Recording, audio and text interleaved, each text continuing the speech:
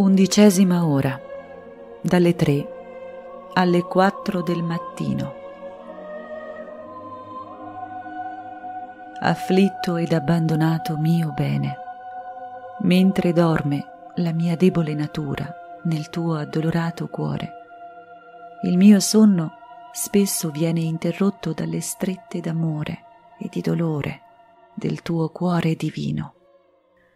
Tra la veglia e il sonno sento gli urti che ti danno e mi sveglio e dico, povero mio Gesù, abbandonato da tutti, non c'è chi di te prenda difesa, ma dentro il tuo cuore io ti offro la mia vita, per farti da appoggio nell'atto che ti fanno urtare, e mi assopisco di nuovo, ma un'altra stretta d'amore del tuo cuore divino mi sveglia e mi sento assordare le orecchie dagli insulti che ti fanno, da bisbigli, da grida e dal correre di gente. Amor mio, come mai sono tutti contro di te? Che hai fatto? Che come tanti lupi arrabbiati ti vogliono sbranare. Mi sento gelare il sangue nel sentire i preparativi dei tuoi nemici. Ed io tremo e sono angosciata, pensando come fare per difenderti. Ma il mio afflitto Gesù, tenendomi nel suo cuore, mi stringe più forte e mi dice Figlia mia, non ho fatto nulla di male e ho fatto tutto. Ho il delitto dell'amore che contiene tutti i sacrifici, l'amore di costo immensurabile. Siamo ancora al principio. Tu stai nel mio cuore, osserva tutto, amami, taci e impara, fa che il tuo sangue gelato scorra nelle mie vene, per dare ristoro al mio sangue, alle mie membra, affinché immedesimate in me possa raffermarti e riscaldarti, per sentire parte delle mie pene e insieme possa acquistare forza nel vedermi tanto soffrire. Questa sarà la più bella difesa che mi farai. Siemi fedele e attenta. Dolce amor mio, è tale lo strepito dei tuoi nemici che non mi lasciano prendere più sonno. Gli urti si fanno più violenti. Sento il rumore delle catene con cui ti hanno legato. È tanto stretto che ti fanno uscire dai polsi vivo sangue con cui tu segni quelle vie.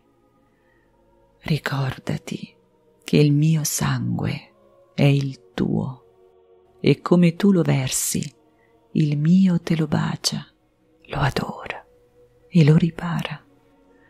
Il tuo sangue sia luce a tutti quelli che di notte ti offendono e calamita, per attirare tutti i cuori intorno a te, amor mio, è tutto mio.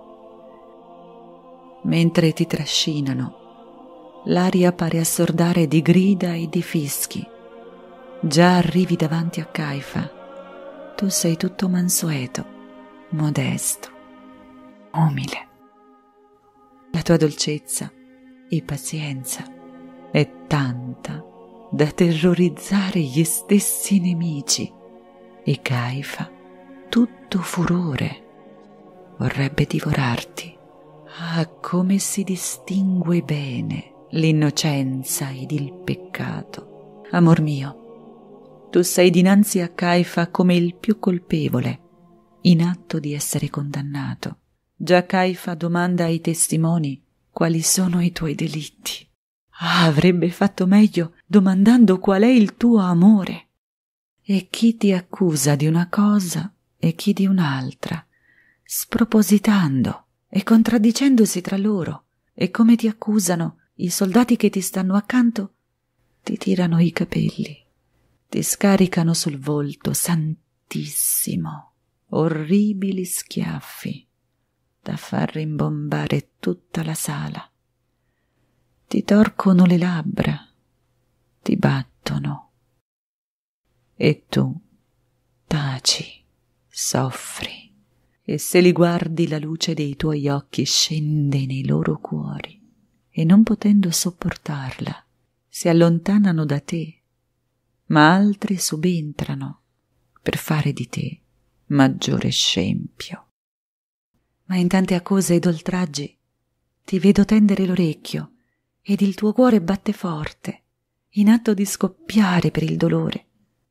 Dimmi, afflitto mio bene, che c'è di nuovo?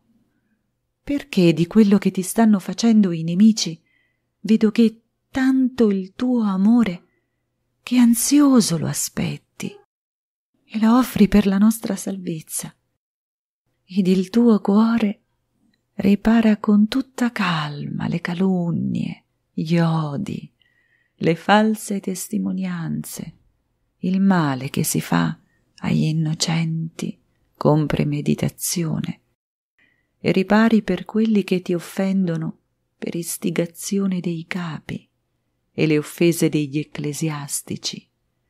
E mentre unito a te seguo le tue stesse riparazioni, sento in te il cambiamento di un nuovo dolore, non mai inteso finora.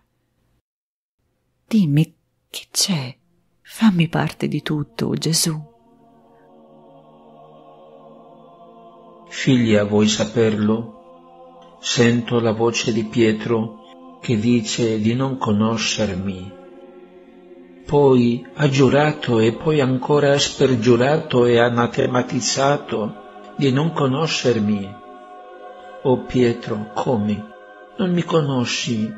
Non ti ricordi di quanti beni ti ho colmato? Ah, se gli altri mi fanno morire di pene, tu mi fai morire di dolore. Ah, quanto male hai fatto col seguirmi da lontano esponendoti poi alle occasioni.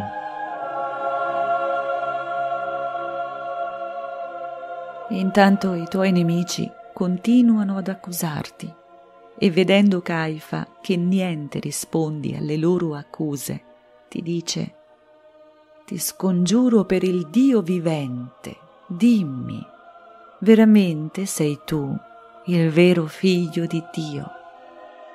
e tu per amor mio, avendo sempre sul tuo labbro la parola della verità, atteggiandoti a maestà suprema, con voce sonora e soave, tanto che tutti restano colpiti e gli stessi demoni sprofondano nell'abisso, rispondi. Tu lo dici, sì, io sono il vero figlio di Dio e un giorno scenderò sulle nubi del cielo a giudicare tutte le nazioni.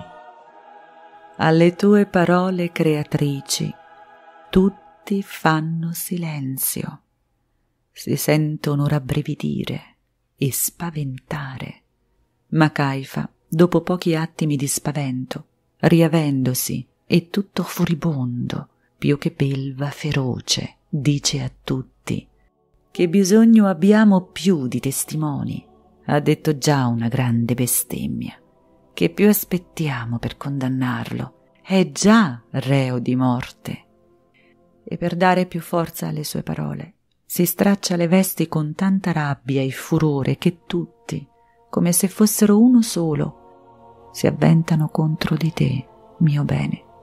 E chi ti dà pugni sulla testa, chi ti tira i capelli, chi ti dà schiaffi, chi ti sputa sul volto, chi ti calpesta sotto i piedi. Sono tali e tanti i tormenti che ti danno, che la terra trema e i cieli ne restano scossi. Amor mio e vita mia, Gesù, come ti tormentano così il mio povero cuore lacerato dal dolore. De permettimi che esca da dentro il tuo adorato cuore e che invece tu affronti tutti questi oltraggi. Ah, se mi fosse possibile, vorrei trafugarti dalle mani dei tuoi nemici, ma tu non vuoi poiché lo richiede la salvezza di tutti. Ed io sono costretta a rassegnarmi.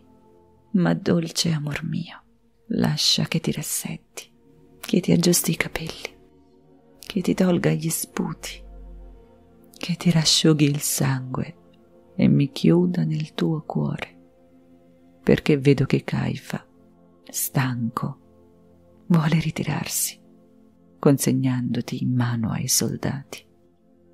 Perciò ti benedico, e tu benedicimi, e dammi il bacio del tuo amore, ed io mi chiudo nella fornace del tuo cuore divino per prendere sonno. Metto sul tuo cuore la mia bocca affinché respirando ti baci e dalla diversità dei tuoi palpiti, più o meno sofferenti, possa avvertire se tu soffri o riposi.